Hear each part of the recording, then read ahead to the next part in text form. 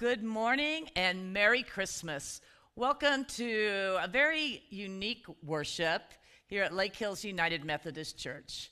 Uh, it is such an honor to be able to come to you wherever you are watching this, whether it be at home, with family, friends, or maybe you are someone who is working today, and we say thank you for doing that because that means you are either keeping us safe, taking care of us, or serving us.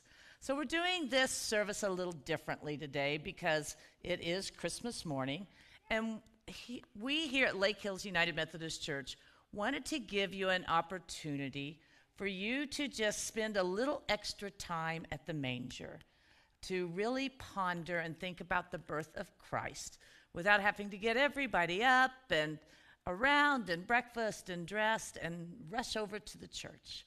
So enjoy today's worship. Now, you may think what we're doing today is a little different, and it is. It's a little history behind it.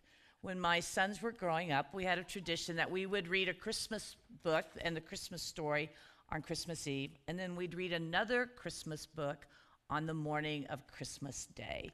And my sons now are, you know, 39, 38, and 34, and they don't get into it probably as much as I do. But I think all of us adults, every once in a while, enjoy having a story read to us. And so the story I'm going to read to you today is one of my favorite. It is called The Tale of Three Trees. So sit back, grab a cup of coffee, a tea, whatever it is that you want to have, and just listen for how God is speaking to you through the words of this story. So, this is the tale of three trees, a traditional folk tale retold by Angela Elwell Hunt.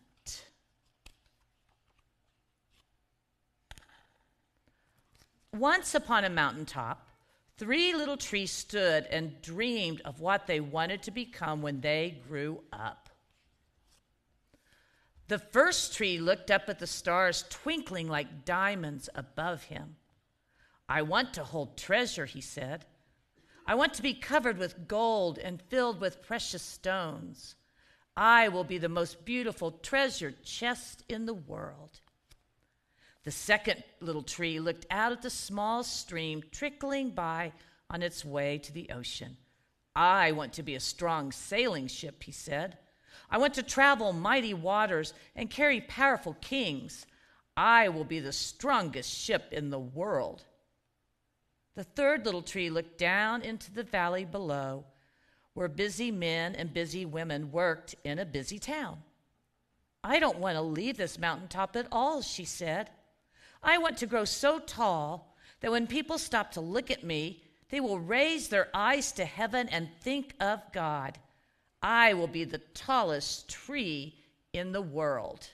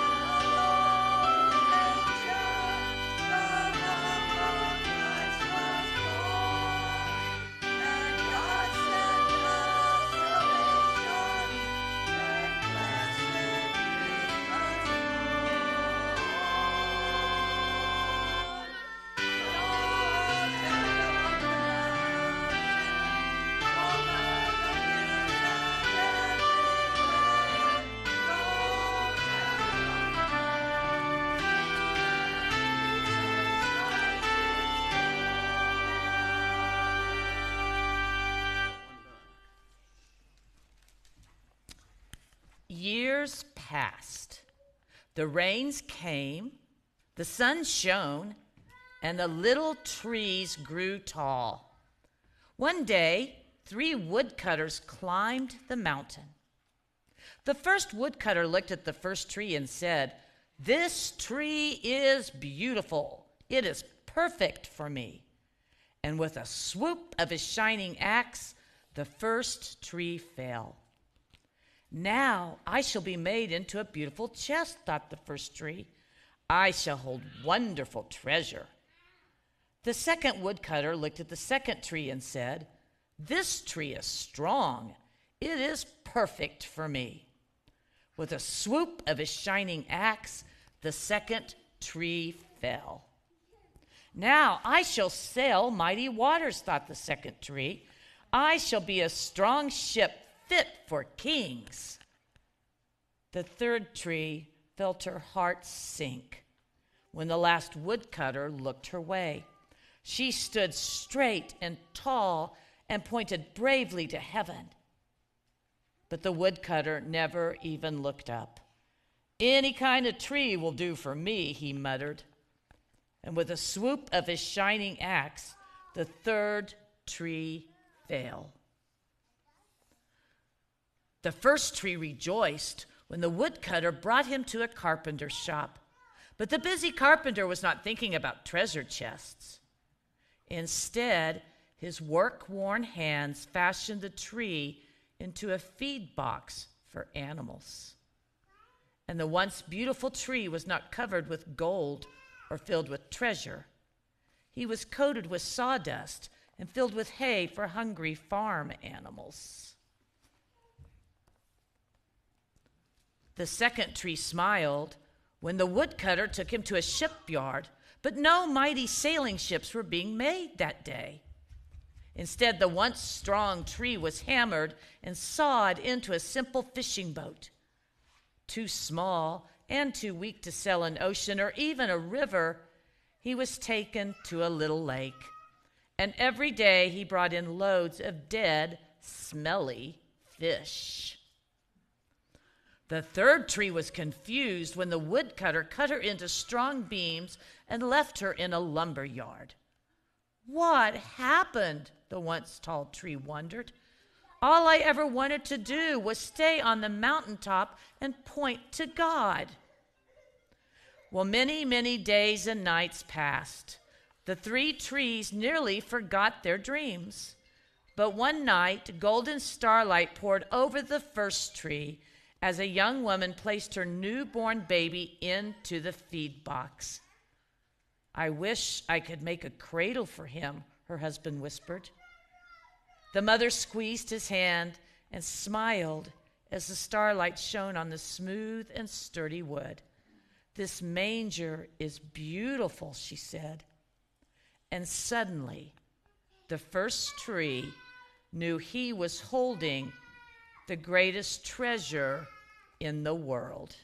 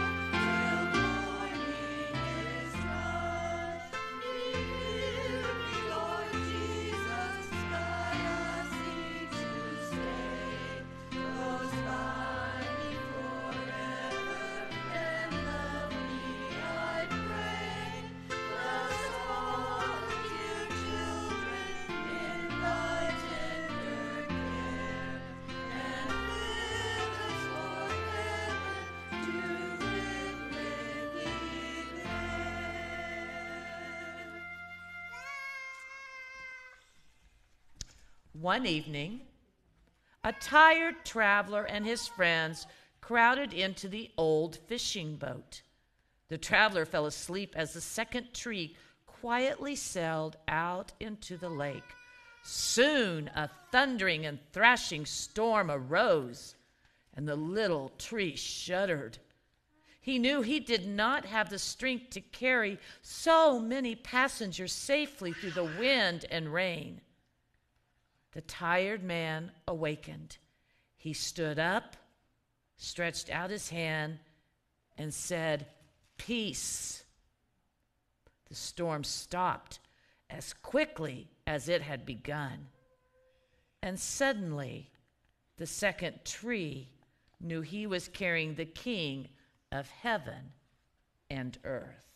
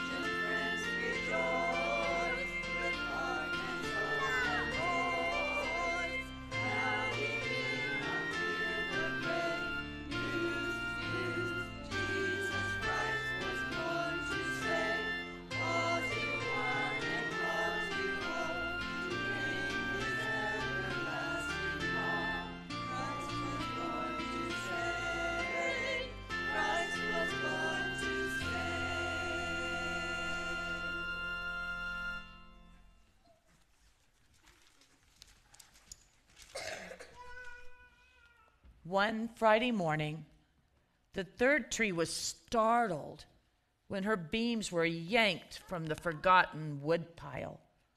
She flinched as she was carried through an angry, jeering crowd. And she shuddered when soldiers nailed a man's hands to her. She felt ugly, harsh, and cruel. But on Sunday morning, when the sun rose and the earth trembled with joy beneath her, the third tree knew that God's love had changed everything.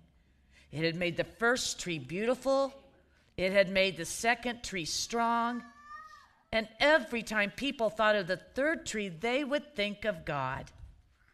There was nothing better than being the tallest tree in the world.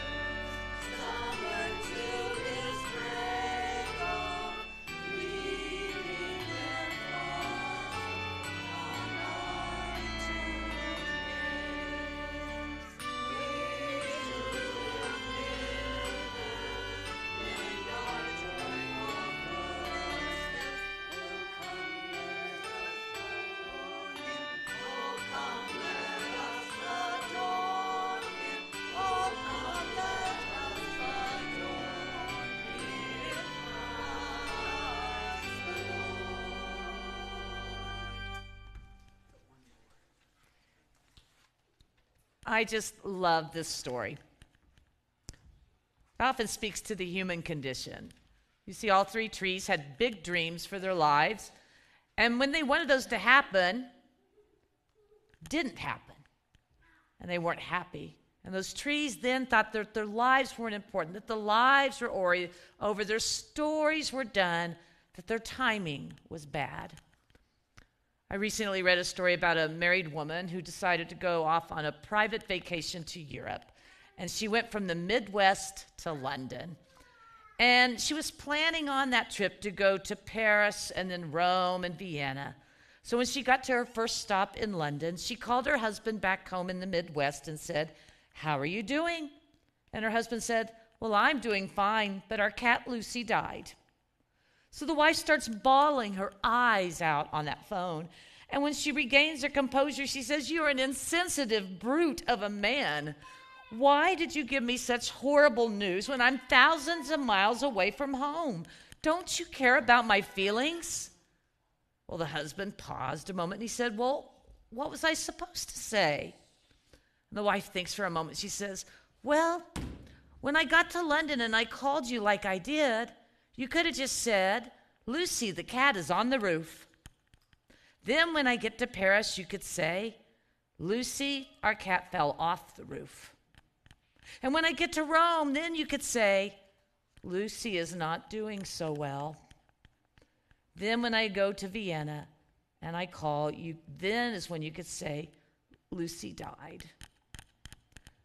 Then the wife said, By the way, how is mother? And the husband responded, She's on the roof. That poor husband really didn't understand poor timing. I want you to think about if there's ever been a situation in your life where you felt the timing of something was bad. When I was in seminary, a classmate felt God calling him and his young bride to move from Oklahoma to Austin, Texas, so he could get his master's of divinity degree and become ordained in his denomination. They had just recently been married. And while he was in seminary, his wife began working as a school teacher to support the family so he could be a full time student. Um, not long after he started seminary, they've learned that she was pregnant and they had an adorable baby boy. And almost immediately, within days of the birth of that precious boy, his wife was diagnosed with metastatic breast cancer. She had to quit her job because she had surgery and underwent chemo and radiation. All of this happening while the husband was still a full time student. Now he became also a full time caretaker for his wife, the only parent able to take care of his son. And yet he had to stay a full time student because of a scholarship he had been awarded. Timing wasn't good for their family, huh? You know, I wonder how Jesus Mother Mary felt about timing when the angel Gabriel approached her when she was, oh, 14 or 15 years old, and told her that the Holy Spirit would come upon her and that she would become impregnated and would become the mother of the Savior of the world. You see, at the time, Mary was not married, and she was betrothed to be married, though. And she lived in a much more conservative culture than our own today. So for Mary to become pregnant out of wedlock, well, that would have just sent her straight into scandal. And to make matters worse, for any women who have been pregnant, in her ninth month, she had to travel, most likely walking, sometimes on a donkey, from Nazareth to Bethlehem. That's bad timing, right? Because her fiance Joseph had to go there um, to register for the census that Caesar had, Augustus had issued to be taken of the Roman world. Now, if we just focus the camera only on Mary, the timing of that pregnancy doesn't seem very good. Yet she doesn't complain, even though for us now, it doesn't sound like the best of circumstances. But from God's perspective, timing was perfect. Galatians 4 4 tells us this. But when the fullness of the time came, God sent his son, born of a woman, born under the law. What does that expression mean? When the fullness of time came, God sent forth his son. Well, the expression fullness of time means when the time is ripe, when the time is perfect. And it was then that God sent forth Jesus to be the Savior of the world. Throughout history, God had been whispering and promising that he would send a Savior. Even all the way back into the Garden of Eden, when Adam and Eve sinned and fell away from God, when they experienced a sense of alienation, not only between themselves and God, but between each other and with their own hearts, even then, God was promising that He was going to send a Savior for them and for all humanity. Many, many years later, God approached a Middle Eastern nomad named Abraham and his wife Sarah. They were an elderly couple, like in their 90s and hundreds, and they had struggled for decades with infertility. And God told them, You are going to miraculously conceive, and through generations, beginning with your son, there will be one that is born who will bless the nations of the world. That blessing was ultimately fulfilled in Jesus Christ. God would then approach one of Abraham's many times removed great grandsons, King David. And he told him that the king would have an offspring in the future who would sit on the throne forever and ever, and his reign would know no end. The offspring God was referring to was Jesus Christ, the King of kings, Lord of lords. Throughout Scripture, God promises us a Savior. And as Paul said in Galatians, in the fullness of time, in the perfect time, God sent forth his Son, born of a woman. Now, in hindsight, if you've done any studying of Scripture at all, you know that politically, culturally, even spiritually, it was the perfect time for Christ to be born. Times back then were hard, people were struggling. And so God, through his angel Gabriel, came to Mary and said to her, You will experience the Holy Spirit, and you will give birth to the Savior of the world. Yes, it was bad timing for Mary because she was an unwed mother. But through Mary's voluntary yes, God was achieving God's grand purpose. You know, we see that not only true of Mary's response, but of people's responses throughout Scripture. One of my favorite stories of how God uses people's responses to achieve God's purpose is the story of Joseph. Joseph was the great great grandson of Abraham. He was one of 12 boys. I just, as a mother of three, I go, 12 boys? and he was Jacob's favorite. Because of that, as you might imagine, Joseph's brothers were very jealous of him and resented him. So they betrayed him and sold him as a slave. And they convinced their father that Joseph had been killed by a ravenous wild beast. As a slave in Egypt, Joseph started working for a man named Potiphar. And Potiphar's wife took notice of Joseph quickly because Joseph was a good looking dude. Well, one day when Potiphar was out of the house, Potiphar's wife made a pass at Joseph, but Joseph rejected her because he didn't want to dishonor God. Potiphar's wife was so offended and probably a little embarrassed by being snubbed by this young man that when her husband came home, she lied about Joseph to Potiphar so that her husband would do something to Joseph out of jealousy. Joseph was sent to prison, but eventually released. And because of his exceptional gifts, and especially because God's hand was upon him, Joseph rose and became the prime minister of Egypt. Later, a famine broke out in that region, and Joseph's brothers became hungry. And they heard that there was an excess of grain in Egypt. So the brothers traveled and went and stood in front of the prime minister of Egypt, their brother, but they didn't recognize him.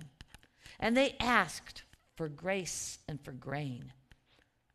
Now Joseph was tempted to conceal his identity, but he couldn't.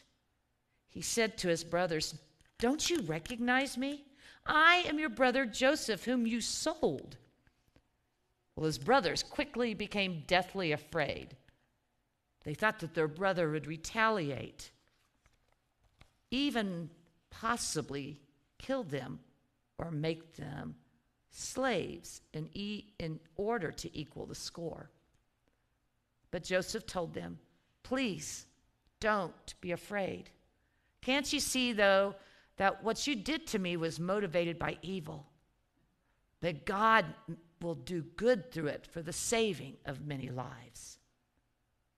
Throughout Scripture, and often I believe in many of our own lives, we see that God can take all that we do, our good choices and, yes, our bad ones, but God can work them for good.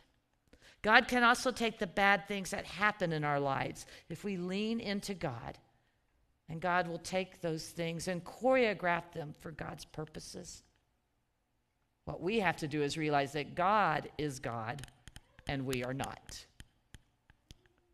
In this book, The Three Trees that I just read to you, those trees felt life was over because their dreams were not coming true.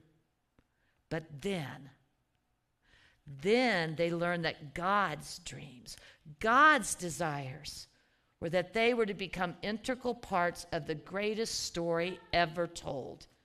They were all part of the life of Jesus. And those tree, three trees found importance in ways that they had never imagined. And it's the same way with your and my life. Romans 8 28 tells us we know that all things work together for good for those who love God, who are called according to his purpose. Today is Christmas Day, a day that we not only think about baby Jesus being born and coming into the world, but it's also a day that we should open up our hearts for Jesus to come into our very world at this time. And I think the timing is fitting because counting today, there's only six days left to the year 2022. So, today, as a birthday gift to Jesus, I think we should take a moment to look back at this past year and ask ourselves some questions.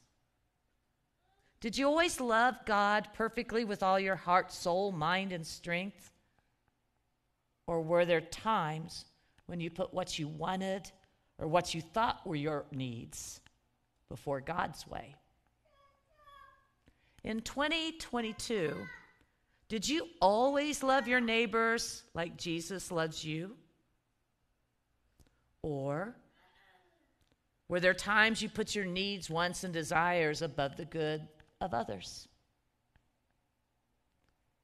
In these last 12 months, did you always view those around you as people that God already loves? Or were there times you thought you were better than them because they were others? They were different in all different ways how they looked, their politics, how they lived, how they spent their money, or how they even got their money. Well, true confession time. I know I haven't always lived up to God's expectations in these past 12 months. So, as a birthday gift for Jesus, let's decide today to make a resolution to be better. We don't even have to wait for New Year's Day to make this resolution. Let's decide right now that we're going to make a better, bigger and better effort to learn more about our own relationship with God and then to live and do things each and every day the way Jesus would want us to do. And when we do that, we also then can become part of the greatest story God has ever told by helping to build God's kingdom here on earth as it is in heaven. I mean, who knows what's going to happen in the next six days? Heck, who knows what's going to happen even today? Maybe you don't get that Christmas present you have coveted and given so many hints about to a loved one. Yeah, because maybe their timing was off. You know, I can pretty much predict there will be good times and there will be trials. not just in the next six days, but also in the upcoming year 2023.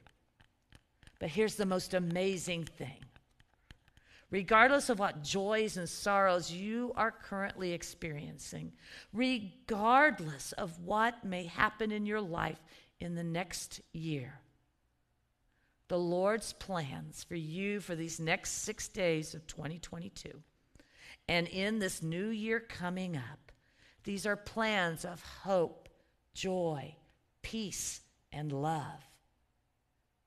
All you have to do is just put your own desires ahead or aside and live your life for Christ. You know, Jeremiah 29 tells us, For surely I know the plans I have for you plans for your welfare and not for harm, to give you a future with hope. Now, if that isn't a sign of a God who loves us, I don't know what is. Because today is the is Jesus' birthday, but yet it's us who receives the most amazing Christmas gift ever the birth of Jesus the Christ, our Lord and Savior. Merry Christmas. You know, I think on that note, I think we should sing Joy to the World. What do you think? And to sing that song, I think we just need to really stand and belt it out. And all of you, wherever you are watching us from, join in with us.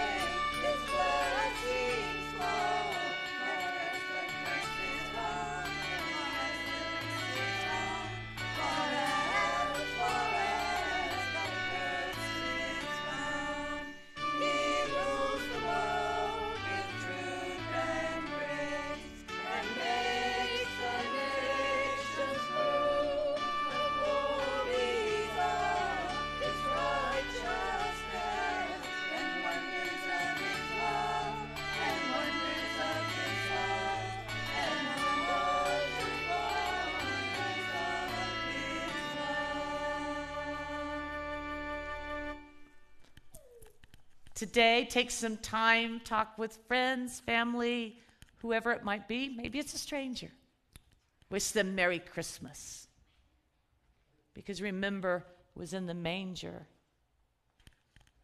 that we now start our journey, even on Christmas Day, towards Jesus and the cross. So, on this day of Christmas, may the love of Jesus Christ surround you. May the mystery of the Holy Spirit astound you. And may the grace, peace, hope, joy, and love that can only come from God ground you. Go now to serve others just like Jesus would do. Merry Christmas, all, and blessings.